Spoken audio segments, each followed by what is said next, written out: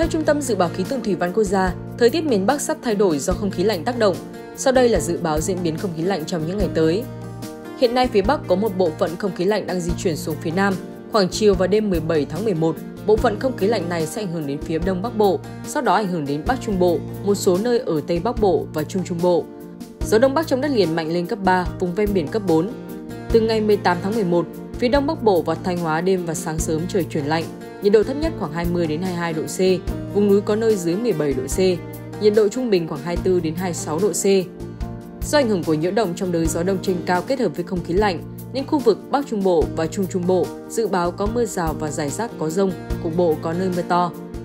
Từ ngày 20 tháng 11, khu vực Bắc Bộ và Bắc Trung Bộ đêm và sáng trời rét, nhiệt độ thấp nhất trong đợt không khí lạnh này ở Bắc Bộ và Bắc Trung Bộ phổ biến từ 18 đến 20 độ C, vùng núi có nơi dưới 15 độ C. Báo Lao động sẽ tiếp tục cập nhật thông tin dự báo thời tiết đáng chú ý trong những ngày tới.